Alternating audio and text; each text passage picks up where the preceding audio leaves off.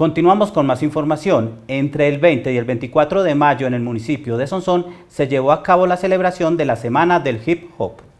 El hip hop es una cultura que día a día ha ganado su espacio en las localidades, la ciudad y el país a través de sus diferentes expresiones artísticas como lo son el rap, el breakdance, el graffiti y el DJ. Nosotros estamos muy contentos con esto porque era algo que estaba como un poco,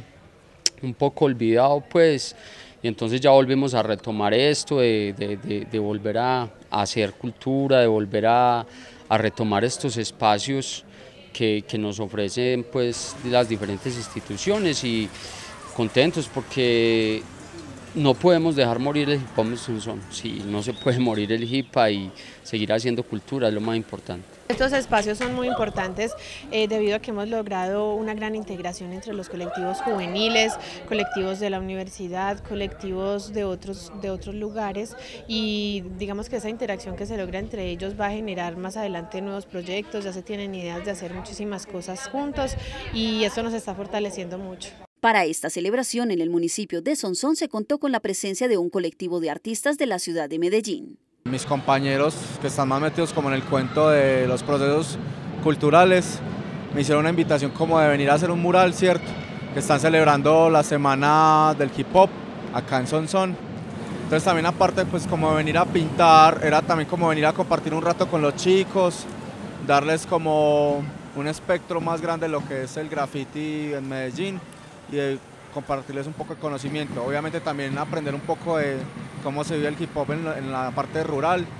y hacer como una eh, retrospectiva entre todos. Compartiendo experiencias para que ellos tengan pues como otra percepción más, más bonita sobre la cultura que no vean pues la cultura como que es un medio de personas que son drogadictas o violentas, sino que somos personas que llevamos un mensaje de convivencia, un mensaje de salud mental, de educación para las personas, para que lleven pues como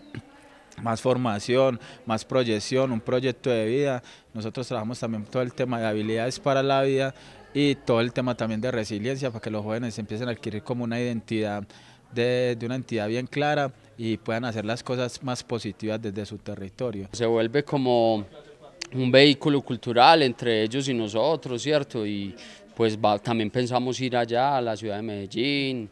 y pensamos ir a, llevar nuestra música allá y ellos vienen a traer la música de ellos y compartimos experiencias y compartimos todo esto y hacemos cultura y eso ayuda a que se arraigue más pues en nosotros las ganas de, de, hacer cosas, de que no solo es para la gente de acá del pueblo,